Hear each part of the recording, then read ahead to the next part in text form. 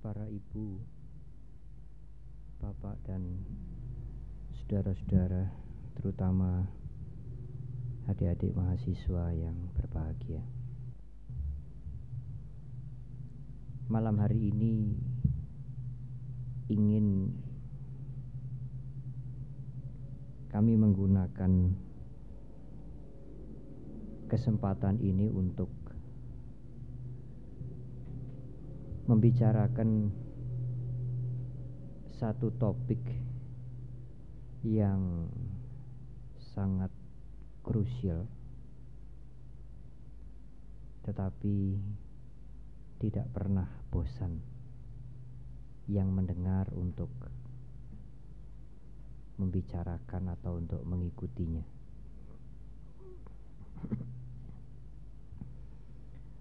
Topik tentang ketuhanan.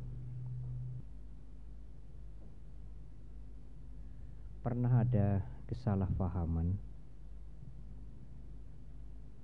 Dan juga kalau saudara sekarang membaca tulisan-tulisan yang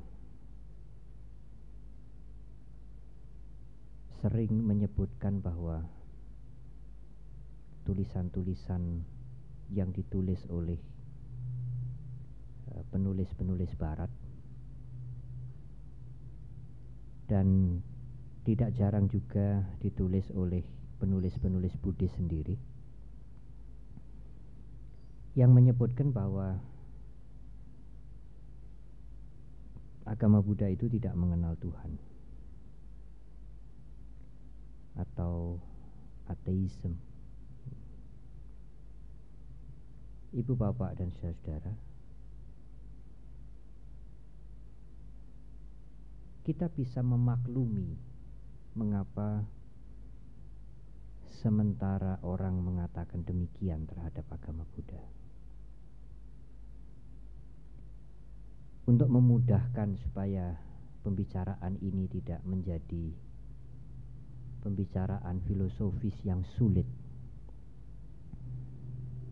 saya ingin menceritakan satu cerita yang sederhana tetapi bisa kita membuat analog analogi dengan masalah mengapa ajaran agama Buddha dikatakan tidak mengenal Tuhan atau ateisme. Dulu waktu pertama kali pakaian ala barat masuk ke Tibet sesuatu yang sangat aneh bagi orang-orang di Tibet pakaian bawah orang-orang di Tibet itu sarung pada waktu orang barat datang ke Tibet membawa pantalon, membawa celana, Orang Tibet menjadi heran, apa ini? Ini untuk dipakai di bawah. Loh, ini rak sarung guling. Digandeng jadi dua. Ibu bapak tahu guling? Guling tahu ya? ya. Ini kan dua sarung guling kemudian digandeng begitu. Masa kita harus pakai sarung guling yang digandeng? Sama seperti di Burma saya pernah mendapat kesempatan ke Burma.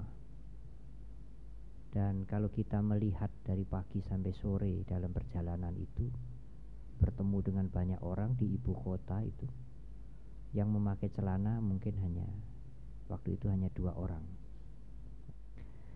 Dari sopir, dari apa itu pelayan kantor sampai ke menteri, sampai ke presiden semuanya pakai sarung nyopir ya sarungan Nah, kalau orang-orang barat pulang ke barat, ke negaranya, dia cerita tentang Burma. Dia cerita tentang Tibet. Kepada keluarganya, dia mengatakan, "Oh, di Tibet, di Burma itu orang tidak punya celana." Keluarganya akan mengatakan, "Loh, kalau begitu mereka itu telanjang." Tidak, mereka tidak punya celana tetapi mereka tidak telanjang. Mereka punya pakaian bagian bawah yang berbeda dengan pakaian kita. Sama dengan orang Tibet atau orang Burma yang pergi ke barat atau keluar dari negaranya. Di barat mereka tanya sarung atau mau beli sarung mungkin sulit. Karena hampir semuanya memakai celana, pakaian pantalon. Dan kalau mereka pulang ke Tibet, mereka pulang ke Burma, cerita dengan sanak keluarganya mengatakan, oh di negara barat itu tidak ada sarung, tidak ada orang jual sarung, apalagi pakai sarung. Kalau kalimat ini tidak dilanjutkan, yang mendengarkan mengatakan, oh apa orang barat itu telanjang semua. Oh tidak, pakaian bawah mereka berbeda dengan sarung kita. Mereka tidak punya sarung, tetapi bukan berarti tidak punya pakaian. Sebaliknya orang-orang Tibet, orang-orang Barat tidak punya celana, tapi bukan berarti tidak tapi bukan berarti tidak punya pakaian, bukan berarti telanjang. Saya ingin menggunakan, kami ingin menggunakan cerita sederhana ini untuk menjelaskan faham ketuhanan di dalam agama Buddha. Pengertian ketuhanan di dalam agama Buddha amat berbeda dengan ketuhanan atau Tuhan yang sering kita dengar. Di masyarakat Indonesia ini terutama. Di masyarakat barat juga. Amat berbeda. Karena berbeda dengan apa yang dia yakini apa yang dia imani berbeda. Dia menganggap agama Buddha tidak memiliki apa yang dia imani. Karena itu agama Buddha tidak mengenal Tuhan tidak mengenal karena berbeda dengan Tuhan yang dia imani, Tuhan dengan yang dia yakini. Demikian juga masyarakat di Indonesia yang mayoritas bukan umat Buddha. Umat Buddha hanya sedikit sekali dan agama Buddha meskipun dulu pernah berkembang tetapi sekarang menjadi baru. Dan mereka melihat bahwa Tuhan yang mereka imani tidak ada di dalam agama Buddha. Sehingga dia mengatakan agama Buddha tidak mengenal Tuhan. Karena tidak sama dengan Tuhan yang dia imani. Itulah ibu bapak saudara sekalian Banyak orang yang salah paham Kemudian dengan serta merta mengatakan agama Buddha tidak bertuhan Tidak mengenal Tuhan Ateisme Karena tidak tidak mempunyai tidak sama dengan Tuhan yang dia imani. Sama dengan orang barat yang menganggap orang-orang Burma tidak berpakaian karena tidak punya celana. Tidak punya celana bukan berarti tidak berpakaian. Dia punya pakaian yang tidak sama seperti celana. Agama Buddha mengenal ketuhanan tetapi amat berbeda dengan ketuhanan yang difahami, yang diimani oleh saudara-saudara kita umat beragama lain. Ibu bapak saudara-saudara Memang kalau kita melihat Tripitaka Tidak ada istilah Tuhan Di dalam kitab suci Tripitaka. Saya kira di dalam kitab suci Quran juga tidak ada istilah Tuhan. Karena Tuhan berasal dari bahasa Melayu kuno Bukan bahasa Arab Bukan bahasa Ibrani Bukan bahasa India kuno ibu bapak. Tetapi kita berusaha untuk memahami lebih dahulu apa yang apa yang dimaksud dengan Tuhan dalam pengertian umum. Kemudian kita memeriksa Tripitaka kitab suci kita dan kita melihat apa yang dimaksudkan di sana itu bagaimana dimaksudkan di dalam kitab suci kita. Di dalam agama Buddha Tuhan bukan personal ibu bapak apa yang dimaksud dengan personal? Personal itu berpribadi. Digambarkan sebagai manusia. Dan pengertian Tuhan seperti itu tidak didapat di dalam agama Buddha. Dulu agak sulit kami menjelaskan tentang Tuhan yang tidak persona ini, impersonal Karena sulit memahami itu sekali lagi banyak di antara mereka yang dengan gegabah ya sembrono mengatakan oh agama Buddha tidak bertuhan, tidak mengenal Tuhan. Tetapi ibu bapak, baru-baru ini saya dikejutkan dengan uh, ada tulisan di Jawa Pos, bukan koran kecil ini, tanggal 19 Mei tahun ini. Satu wawancara dengan dosen dari Universitas Paramadina, saudara Budi Munawar, Budi Munawar Rahman yang bertanya saudara Ulil. Saya kenal baik dengan saudara Ulil. Waktu itu kita bersama-sama pergi ke Jordan. Tulisan ini amat mengejutkan karena selain dimuat di Jawa Pos dengan judul yang besar-besar juga. Judulnya tidak tanggung-tanggung. Konsep Tuhan personal sudah ketinggalan. Dan yang berbicara bukan seorang Buddhis Seorang dosen Muslim Mereka berdialog Mereka Apa itu ter, Terlibat di dalam satu tanya jawab Yang kemudian diangkat di koran Japos Tanya jawab atau dialog ini sebetulnya me, membicarakan tentang buku yang juga sedang menjadi bahan perbincangan, menjadi bahan bahasan secara meluas. Dan buku itu juga judulnya tidak tanggung-tanggung Sejarah Tuhan Di Wihara Mendut ada buku ini dalam bahasa Inggris. Dan buku ini sekarang sudah diterjemahkan. Penerjemahnya juga saudara-saudara kami muslim. Diterbitkan juga oleh penerbit muslim Mis Misan.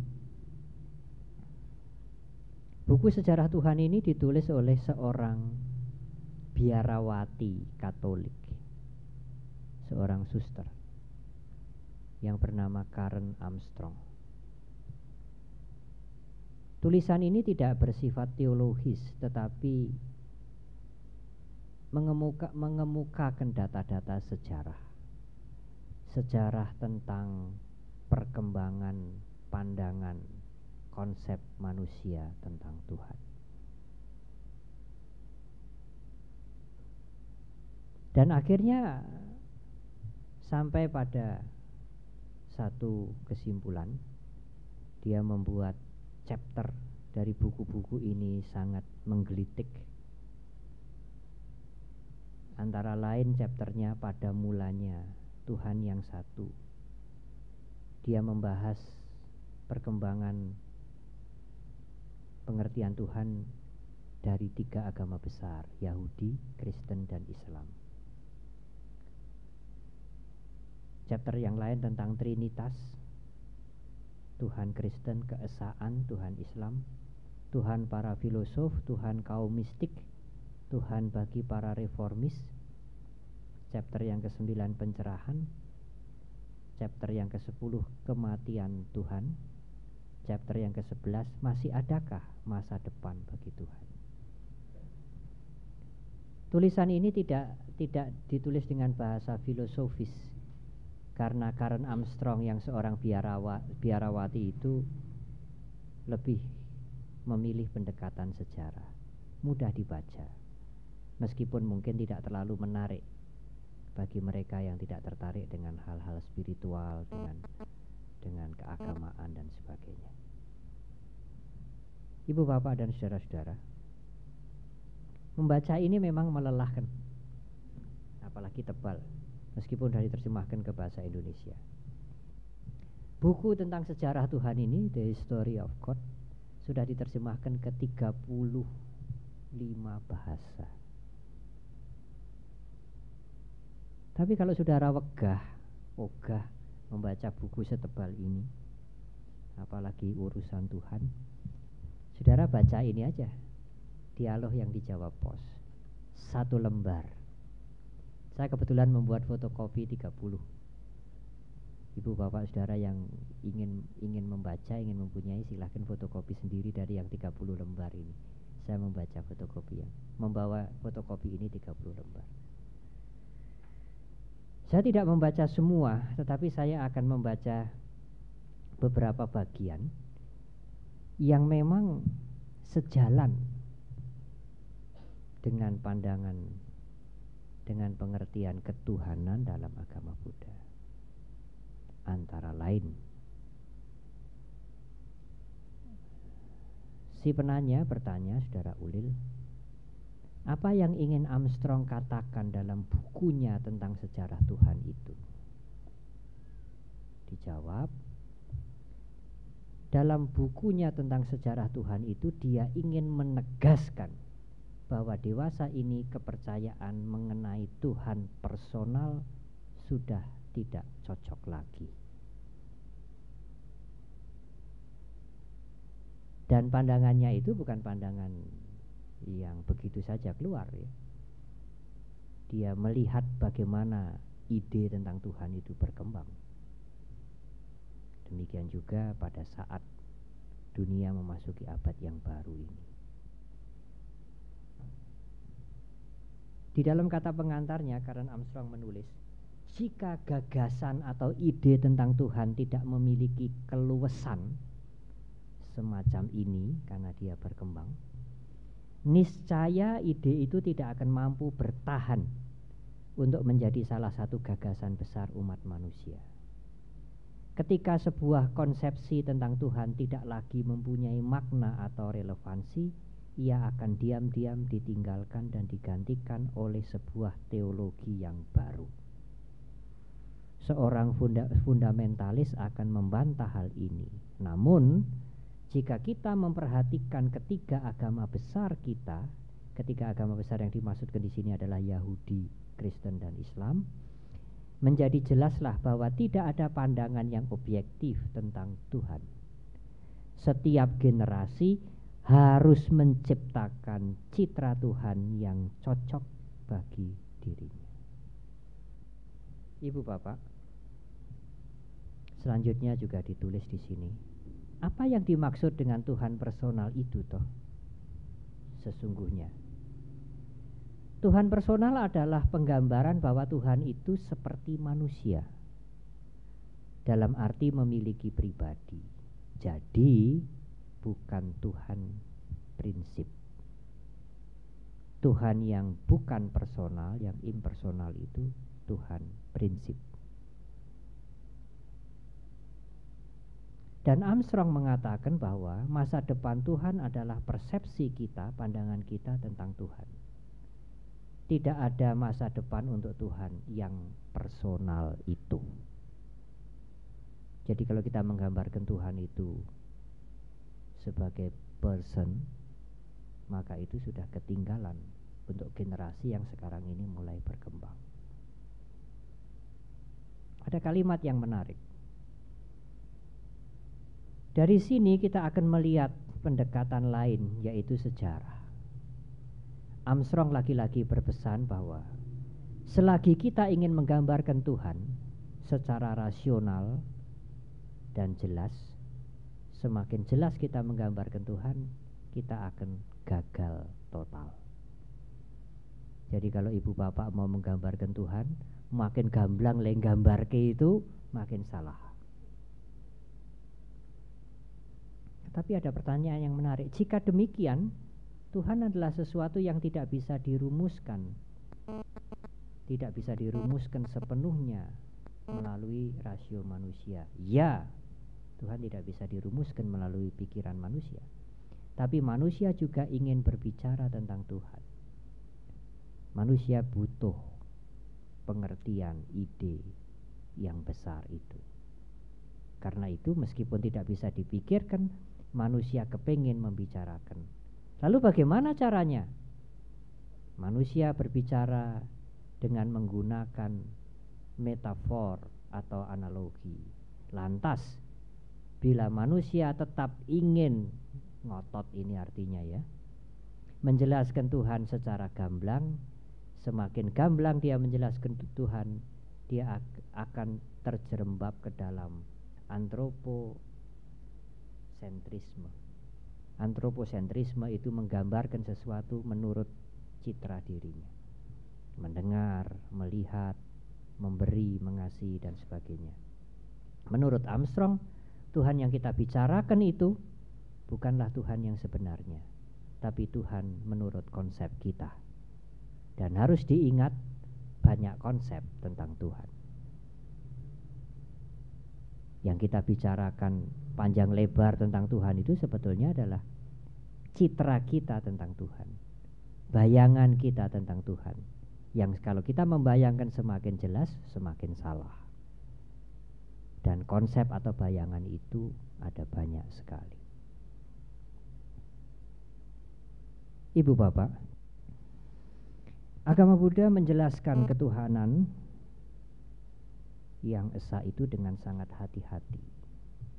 Seperti pernah saya singgung di tempat ini beberapa waktu yang lalu. Agama Buddha cenderung menggunakan kalimat negasi atau nafi menggunakan kalimat tidak daripada menggambarkan dengan positif. Karena semakin jelas digambarkan akan tergelincir untuk memanusiakan Tuhan. Kalimat-kalimat yang sering kita jumpai di Tripitaka adalah yang tidak dilahirkan, yang tidak perpaduan, yang tidak menjelma, yang tidak tercipta. Tidak, tidak, tidak, tidak, tidak. Di dalam bahasa Jawa ada ungkapan Tuhan itu tan keno kino yongopo. Tidak bisa disamakan, tidak bisa digambarkan dengan apa pun. Dan dalam bahasa Pali disebut lukutara. Mengatasi dunia ini beyond duniawi. Menarik memang. Mungkin beberapa tahun yang lalu kita tidak pernah berpikir ada buku semacam ini akan terbit dan diterjemahkan ke dalam bahasa Indonesia dan menjadi perbincangan sangat luas sampai diulas dalam satu dialog yang diangkat di dalam Jawa Pos. Ibu Bapak, ada alasan-alasan sesungguhnya. Mengapa dalam kitab suci Tripitaka mengapa Sang Buddha terlalu sedikit menyinggung tentang yang esa tentang yang bukan perpaduan tentang yang tidak tercipta? Sulit untuk dibayangkan untuk dijangkau oleh pikiran kita Tetapi bukan berarti tidak ada. Adapun dengan tanda petik. Karena kalau saudara tidak terbiasa membaca atau mendengar istilah-istilah filosofis, begitu saudara mendengar simbol atau konsep ada, pikiran saudara akan bekerja. Ada yang seperti apa? Sedangkan di dalam dunia filosofis, di dalam dunia spiritual, apa yang disebut ada amat sulit untuk disamakan ada secara harafiah. Ibu Bapak, pada waktu kami menyampaikan pandangan-pandangan ini di Damaklas di Solo, ada seorang dosen dari Fakultas Sastra UNS yang tertarik dan dia kemudian mengundang saya untuk berbicara di Fakultas Sastra UNS yang notabene sebagian besar yang mendengar tidak terbiasa dengan pengertian Tuhan menurut agama Buddha.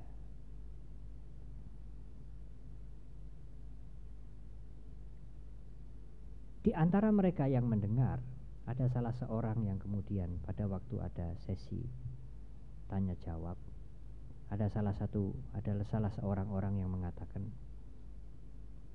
biku sebetulnya saya tidak terlalu senang dan tidak senang sama sekali membicarakan Tuhan Ya, mengapa seminar atau forum seperti ini dibuka? Saya menjawab, ya. Saya setuju 100%. Memang tidak bisa kita membicarakan tentang Tuhan. Tetapi karena saya diminta dan sehubungan dengan adanya buku-buku yang diterbitkan, adanya pandangan-pandangan yang paralel, yang similar dengan agama Buddha, maka saya berusaha untuk berbicara sedikit. Dan itu pun tidak banyak.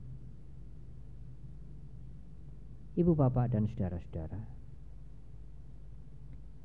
amat sulit di dalam kerangka pengertian dhamma untuk menerima Tuhan personal. Karena di dalam pengertian dhamma yang personal personal itu, yang personal itu pasti terkena perubahan. Dan yang asang kata, yang bukan perpaduan, tidak terkena perubahan. Karena itu menggambarkan Tuhan sebagai pribadi, sebagai persona, personal, personal adalah tidak tepat. Ibu bapak, di dalam buku ini juga disebutkan, dibahas. Pada waktu ada peristiwa Auschwitz, di mana banyak orang dimasukkan ke dalam kamar gas oleh Hitler dan mereka dibunuh.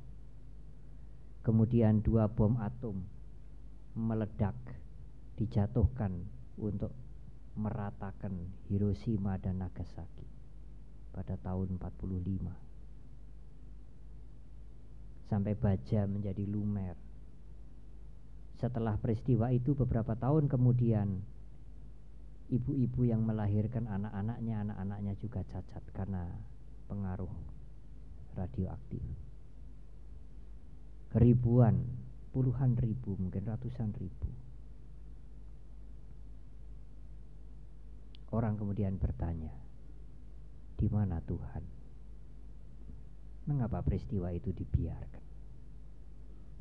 Pada waktu ada ribut-ribut rame-rame masalah di Ambon, di Maluku, di Poso, orang juga bertanya, di mana Tuhan? Mengapa masalah itu dibiarkan? Beberapa waktu yang lalu ada seseorang yang memberikan komentar pada waktu ada peristiwa World Trade Center di New York dihantam dengan pesawat. Kemudian Amerika membalas menyerang Afghanistan. Ribuan, puluhan ribu orang menjadi korban. Di mana Tuhan?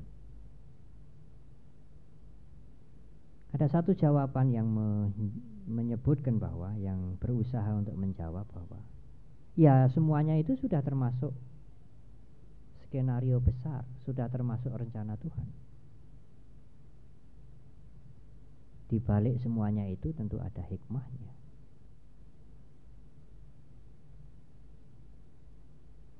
Manusia tidak bisa meraba dengan rasionya. Manusia tidak bisa memikirkan dengan rasionya. Karena apa yang dilakukan oleh Tuhan itu adalah rahasia bagi dia. Ibu bapak, sulit bagi seorang Buddhis untuk menerima hal ini.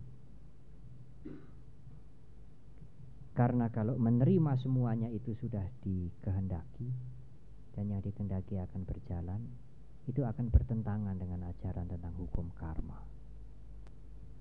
Tidak ada satupun yang terjadi tanpa akibat, tanpa sebab yang menyebabkan, yang mengakibatkan hal itu terjadi. Kalau tidak ada sebab, tidak mungkin peristiwa itu terjadi. Kalau peristiwa itu terjadi, tentu ada sebab. Amat sulit kita menerima bahwa kalau Tuhan menciptakan semuanya itu, mengapa yang mencipta dia membunuhnya sendiri dengan peristiwa yang sulit ditangkap oleh rasa kemanusiaan kita. Tetapi di satu pihak orang mengatakan ya Tuhan tidak bisa dimengerti dengan akal kita. Tidak bisa dibicarakan dengan akal kita. Kalau begitu, mengapa dulu-dulu Anda membicarakan Tuhan? Mencipta, memberikan rahmat, memberikan hukuman. Kalau memang tidak dibicarakan, mengapa dulu-dulu dibicarakan? Bukankah ini yang disebut standar ganda? Pada waktu bisa dibicarakan, kita bicarakan. Tapi pada waktu ada peristiwa WTC, pada waktu ada peristiwa Afghanistan, pada waktu ada bom atom, di mana kasih sayang Tuhan? Orang usah ngomong. Pikiranmu tidak cukup untuk bicara ke Tuhan. Lah wingi-wingi kok cukup. Nah kemarin-kemarin kok bicara. Maha pengasih, penyayang, memberikan ampunan-ampunan, mohonlah nanti akan diberi. Kok tahu kalau mohon mesti diberi? Kemarin-kemarin kok ngomong. Sekarang kita membicarakan kenapa itu begitu, korban begitu, nggak ditolong.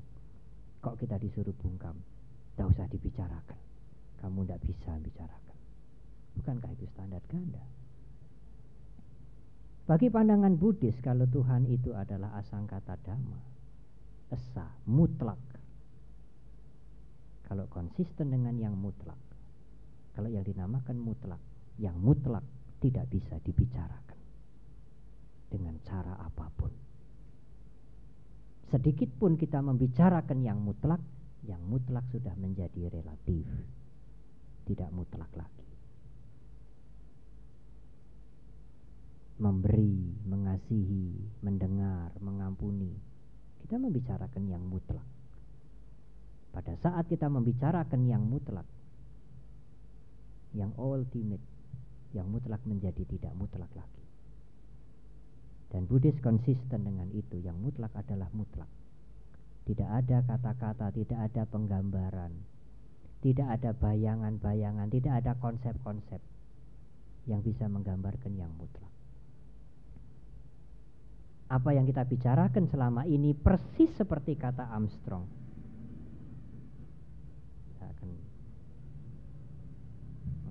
sekali lagi. Namun jika kita memperhatikan ketiga agama besar kita menjadi jelas bahwa tidak ada pandangan yang benar, yang objektif tentang Tuhan. Setiap generasi baru harus menciptakan citra Tuhan yang cocok bagi generasinya. Apalagi dia kemudian menulis. Ini membawa saya, saya di sini adalah penulis buku ini, Karen Armstrong ini membawa saya ke titik yang sulit karena Tuhan ini telah terlanjur secara khusus dikenal sebagai berjenis laki-laki.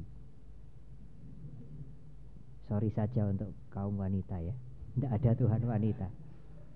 Karena apa? Dalam bahasa Inggris kaum monoteis lazim merujuk kepada Tuhan dengan kata ganti he. Tidak pernah si. Pada masa sekarang kaum feminis dengan sangat sadar menaruh keberatan tentang hal ini. Penggunaan kata ganti maskulin untuk Tuhan ini menimbulkan persoalan dalam sebagian dalam sebagian bahasa bergender. Tuhan tidak pernah dibicarakan si, tidak pernah.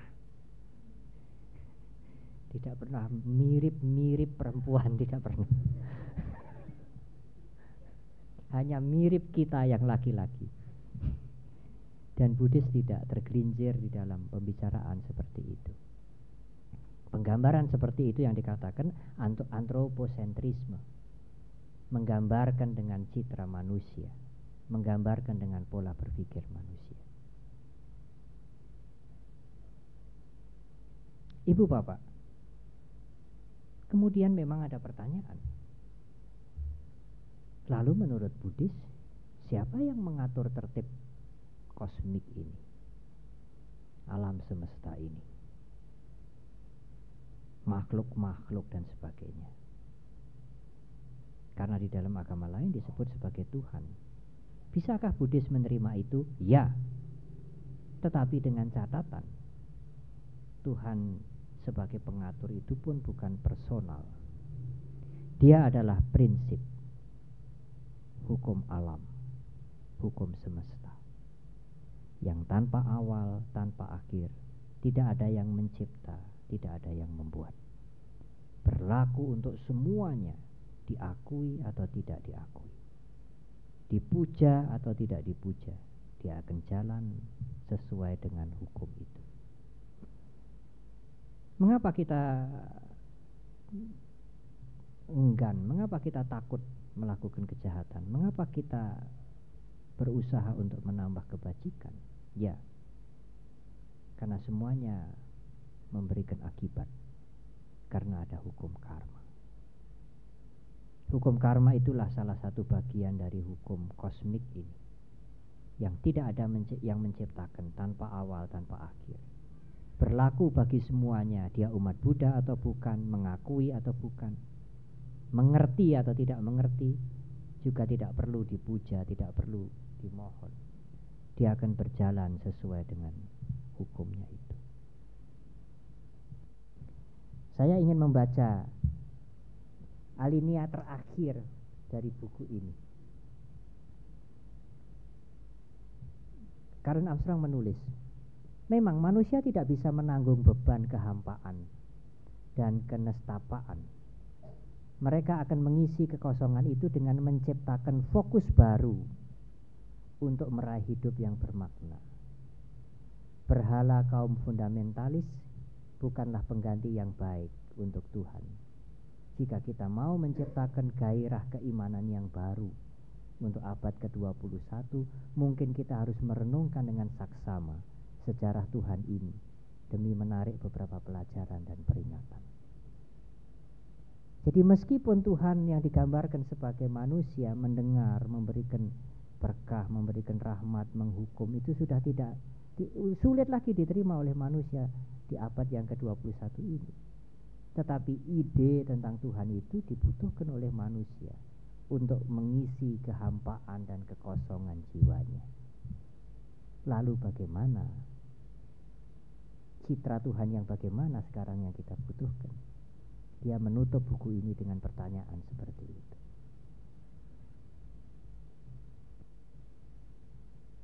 Ibu bapak, demikianlah secara garis besar pengertian atau pandangan ketuhanan di dalam agama Buddha. Saya pikir saya harus stop, saudara. Karena sudah diperingatkan oleh Karen Armstrong. Jangan banyak-banyak berbicara tentang Tuhan, semakin banyak semakin salah. Kalau saya bicara semakin banyak, semakin gamblang, nanti akan menjadi semakin salah. Oleh karena itu saya akan berhenti sampai di sini dan silakan ibu-ibu, bapak-bapak dan saudara-saudara untuk memperluas pengertian ini. Mudah-mudahan bukan menjadi semakin luas, semakin salah. Saya kira cukup sekian dan silahkan kalau pertanyaan-pertanyaan ingin disampaikan. Terima kasih.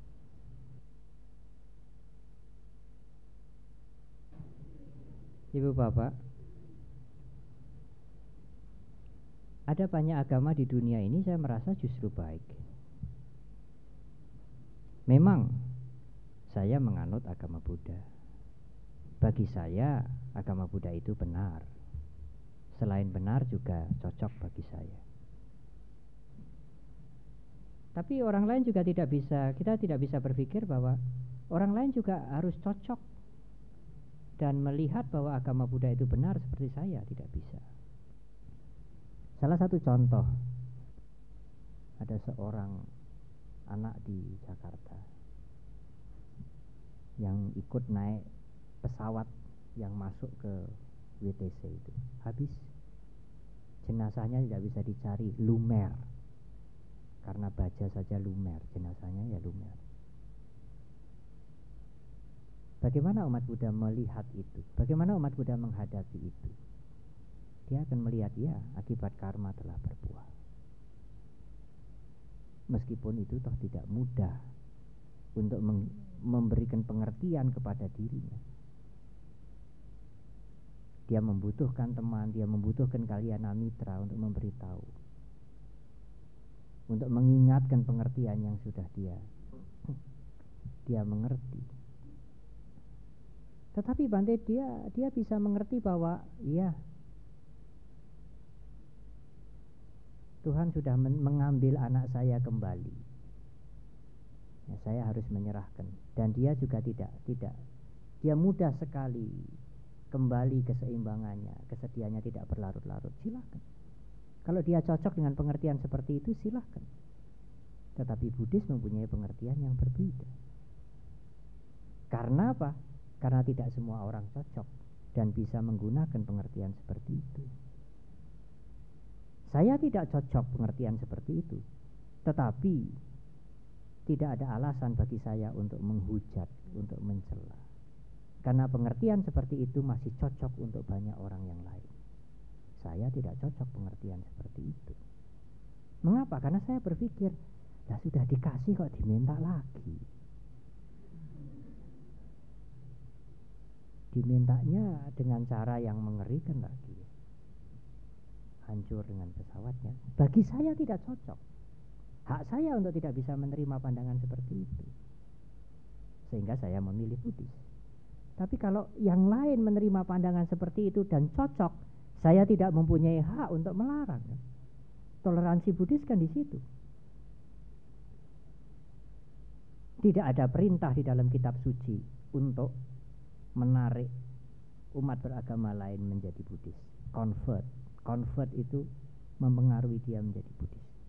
Tidak ada perintah, tersirat apalagi tersurat, tidak ada sama sekali. Sang Buddha hanya mengatakan ada yang baik, sampaikanlah pada yang lain supaya yang lain mengerti. Karena kalau itu dilakukan akan membawa kemajuan. Ada yang tidak baik, sampaikanlah pada yang lain supaya berhati-hati karena mereka yang kalau mereka melakukan yang tidak baik itu mereka akan mengalami kehancuran. Hanya itu tugas kami para biku. Contribute, memberikan kontribusi kepada masyarakat, tapi tidak convert. Tidak ada perintah untuk convert, tetapi ada kewajiban untuk contribute, memberikan kontribusi hal-hal yang baik. Kalau Anda cocok, silahkan Anda pakai. Anda tidak cocok, tinggalkan. Mendengar uraian saya tidak ada kewajiban untuk mengikuti seluruhnya. Sebagian silahkan Tidak sama sekali juga tidak apa-apa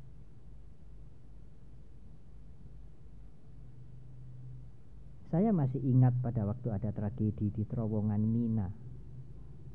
Saudara-saudara kita naik haji Kemudian terjadi peristiwa di terowongan Mina. Demikian juga saudara-saudara yang menunaikan jemaah haji yang lain. Ada berapa ratus mungkin atau berapa ribu itu yang meninggal. Kemudian salah satu koran menulis ya kita harus menerima kejadian itu memang sudah dikehendaki dari atas sana, dikehendaki oleh Tuhan. Terimalah dengan dengan ya dengan ketenangan, dengan kewajaran. Saya ingat sekali paginya ada koran yang terbit kembali kalau tidak suara merdeka KR menulis komentar saudara MH Ainun Najib jangan menggunakan topeng kehendak Tuhan untuk menutupi kelemahan manusia bukankah para apa itu penyelenggara bukankah mereka-mereka yang mengurus di apa di Arab di sana, di Mina di sana lalai, lengah, ceroboh sehingga terjadi bencana seperti itu. Ya, mengapa kelalaian itu, kelengahan itu ditutupi dengan ya, kehendak Tuhan? Terimalah. Ya, dia tidak bisa menerima hal itu dengan ungkapan seperti itu. Tidak apa-apa, silahkan. Tetapi ada yang mendapat manfaat dengan menerima bahwa yang semua yang terjadi adalah kehendak Tuhan, tidak timbul penasaran, tidak timbul marah. Dia cocok dengan pengertian seperti itu. Silahkan. Masing-masing mempunyai alasan untuk menerima pengertian yang tidak sama. Oleh karena itu, Karen Armstrong mengatakan, dalam sejarah perkembangan orang beriman kepada Tuhan, keimanan itu juga akan berkembang di sini disebutkan pengertian tentang Tuhan tidak begitu saja jatuh dari langit. Pengertian itu juga memperhatikan konteks Di mana pengertian itu berkembang, di mana keimanan itu berkembang. Bagaimana masyarakat yang menerima pengertian itu. Dan masyarakat di abad ke-21 ini amat berbeda dengan masyarakat beberapa abad yang lalu. Jadi itulah pandangan saya. Masyarakat bisa memilih dengan agama yang banyak ini. Sehingga mana yang cocok, dia bisa memilih apa yang sesuai dengan selera dia.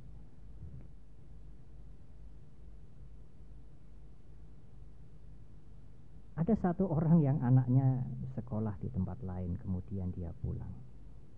Dia tanya kepada orang tuanya, "Pak, katanya setan itu jahat." Kita tidak boleh dekat-dekat dengan setan. Kita harus mengutuk setan itu. Saya berpikir ibu bapak ya, mungkin sekali lagi cara itu berguna, cocok bagi yang lain. Tapi bagi saya, saya berpikir, apakah cara mendidik yang baik? Karena sejak anak-anak, anak-anak kita sudah diberikan musuh yang permanen. Timbul kebencian yang hebat sekali. Karena setan itu selalu jahat dan tidak pernah habis.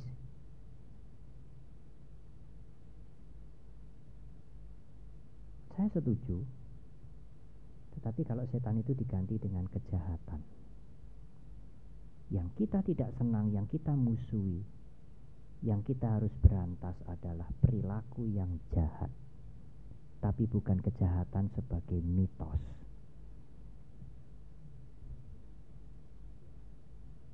Di mana kejahatan itu ya semuanya, termasuk di dalam dirimu juga. Kamu harus memerangi kejahatan itu, harus stop kejahatan itu, supaya hidupmu bermanfaat bagi dirimu dan bagi yang lain. Tapi tidak melempar kejahatan itu kepada satu mitos dan sejak anak-anak kita sudah memberikan kebencian, memberikan musuh abadi kepada dia. Menanamkan kebencian kepada dia. Itu akan berbeda kalau setan itu diterjemahkan sebagai. Hadapilah kejahatan di dalam dirimu dengan sungguh-sungguh, dengan kewaspadaan. Hadapilah kejahatan yang ada pada orang-orang lain dengan kasih sayang, bukan dengan kebencian. Mereka yang berpikiran jahat, berkata-kata jahat, berbuat jahat, bukankah mereka itu sedang sakit? Menurut psikologi, mereka yang jahat itu mereka-mereka yang jiwanya sedang sakit. Bukankah kamu harus, bukankah kamu seharusnya menaruh cinta kasih kepada mereka? Bukan kebencian. Kalau ibu bapak melihat teman-teman ibu yang tergeletak di rumah sakit, yang sakit, kasihan. Ibu bapak ingin memberikan obat, menolong karena sahabatnya. Kita menganggap semua makhluk sahabat kita. Kalau mereka berbuat jahat, mereka juga orang yang sakit. Bukan sakit fisiknya, tapi sakit mentalnya. Mengapa kita harus membenci? Bukankah kita harus kasih sayang? Apa yang bisa saya lakukan supaya kejahatan dia itu stop? supaya kejahatan dia itu bisa berkurang, supaya dia bisa berhenti berbuat jahat. Saya kasihan melihat dia, karena nanti akibat penderitaan akan luar biasa kepada dia. Bukan kebencian, bukan ingin menghancurkan, bukan ingin melenyapkan, tetapi dengan kasih sayang ingin memperbaiki dia. Bagi saya pandangan bagi pandangan seperti itu lebih cocok bukan menaruh dan menanamkan kebencian kepada setan sebagai musuh permanen. Sang Buddha mengatakan ajaran yang kuajarkan ini akan bermanfaat kalau engkau praktek. Kalau ibu bapak hanya senang mendengarkan ajaran agama Buddha, wah agama Buddha memang masuk akal. Logika itu saya sangat memuji agama Buddha hebat sekali. Saya berpikir apa gunanya? Kalau ibu, kalau ibu bapak memahami, mengagumi agama Buddha, mengimani agama Buddha, tetapi tidak ada perubahan di dalam perilaku, tidak ada perubahan di dalam sikap, tidak ada perubahan di dalam cara berpikir. Tetapi mengagumi sekali, iya, sebetulnya ibu bapak tidak beriman, hanya pengagum saja. Pengagum agama Buddha, pengagum hukum karma, bukan penganut hukum karma. Kalau ibu menjadi ibu bapak menjadi penganut hukum karma, konsisten. Saya mengimani hukum karma, saya harus menghentikan hal-hal yang tidak baik, mengurangi hal-hal yang tidak baik, menambah hal-hal yang baik. Karena kebaikan ini akan bermanfaat untuk masyarakat dan untuk saya.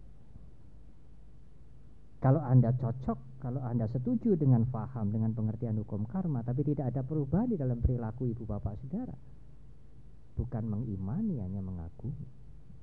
Bukan penganut, pengagum. Ya, termasuk penggembira segala macam. Oleh karena itu di dalam satu buklet kecil transkrip dari khotbah saya di Mundilan saya sebutkan. Buddhis menghargai semua pandangan apa pun.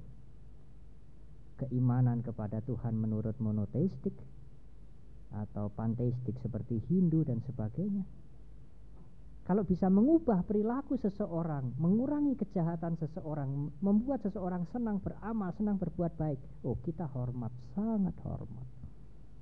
Meskipun ajaran itu tidak cocok dengan ajaran saya, dengan ajaran yang saya anut. Tidak ada alasan bagi kita untuk tinggalkan itu, buang itu, jelek itu, ngawur itu, tidak ada alasan. Kalau ajaran itu bisa membuat seseorang stop kejahatan, hentikan hal-hal yang tidak baik, memacu dia, mendorong dia untuk menambah kebaikan, untuk menjadi orang baik, mengubah perilakunya yang jelek, sekarang dia menjadi lebih baik. Mengapa dikatakan tidak baik? Bagus.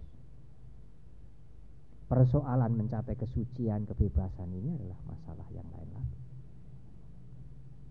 Persoalan Anda tidak cocok adalah persoalan Anda. Silahkan Anda mengimani apa yang Anda cocok tapi jangan menghujat yang diimani oleh orang lain. Karena yang diimani oleh orang lain itu juga berguna bagi mereka meskipun tidak cocok bagi saudara. Karena itu kita tidak pernah, tidak pernah pengkhotbah-pengkhotbah Buddhis dan sebagainya umat Buddha juga tergelincir menganggap yang lain itu tidak benar, yang menganggap yang lain itu sesat, tidak pernah tergelincir kalimat itu. Karena itu pun juga berguna bagi mereka. Selama bisa mencegah mereka tidak berbuat jahat, mendorong mereka banyak melakukan amal kebajikan. Mengapa tidak? Bukankah itu sesuatu yang berguna juga? Persoalan tidak cocok dengan saudara itu urusan saudara.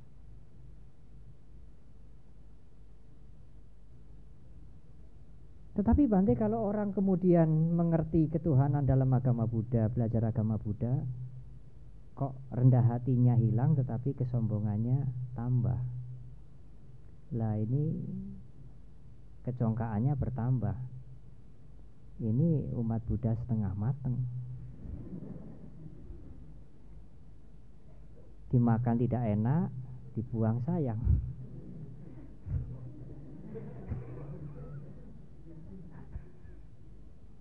Sang Buddha sendiri juga mengatakan kalau engkau mempelajari dhamma persis seperti memegang ular. Kalau engkau salah memegangnya, dhamma atau ajaranku ini akan melukai engkau sendiri. Kalau kita memegang ular harus memegang kepalanya. Kalau Anda belajar memegang ular, memegang ekornya atau memegang ya buntutnya atau memegang badannya, kepalanya akan mematuk kita. Salah satu contoh. Dhamma Agama Buddha mengajarkan empat Sikap mental yang harus dikembangkan. Persahabatan, cinta kasih. Dari cinta kasih itu timbul keinginan menolong Kepada semua makhluk tanpa kecuali.